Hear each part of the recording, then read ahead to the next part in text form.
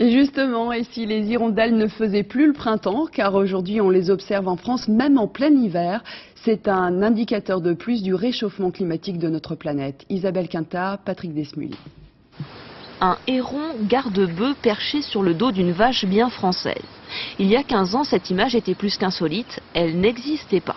En fait, cet oiseau migrateur a délaissé le soleil africain pour venir hiverner plus au nord, en France, le long de la façade atlantique. Tout doucement, oui, bien sûr. Il y a des espèces qui changent. Par exemple, on a la, grande aigrette qui est arrivée régulièrement et qu'on voit régulièrement sur la réserve en hivernage, ce qu'on ne voyait pas avant. Euh, la spatule blanche qui passait traditionnellement en automne et qui s'en allait euh, en, Afrique, préférentiellement jusqu'en Espagne en Afrique, euh, maintenant, elle arrive à rester ici et passer l'hiver. À l'automne, les oiseaux filent traditionnellement vers le sud. Mais le réchauffement climatique a bouleversé les comportements.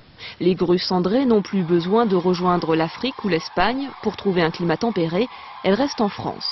Les hirondelles prennent leur quartier d'hiver en Normandie ou en Bretagne. Quant à la cigogne blanche, censée hiverner en Afrique, elle passe la mauvaise saison chez nous, dans l'Hérault. Ces oiseaux échappent ainsi à une migration longue et éprouvante, mais tout danger n'est pas écarté pour autant. Les effets négatifs, euh, c'est bon, des, petites espèces, hein, des fauvettes par exemple, qui ont tendance à hiverner euh, chez nous maintenant, dès qu'il y a un hiver un peu plus rigoureux, parce que dans un réchauffement il y a des passages plus rigoureux, donc ils vont, ils vont mourir, hein, ils ne vont pas pouvoir se, se déplacer. Ce qui était avant exceptionnel devient maintenant fréquent. Plus de 60 000 oiseaux ont hiverné dans notre pays ces trois dernières années. La France n'est plus une simple escale, mais bien une terre d'accueil.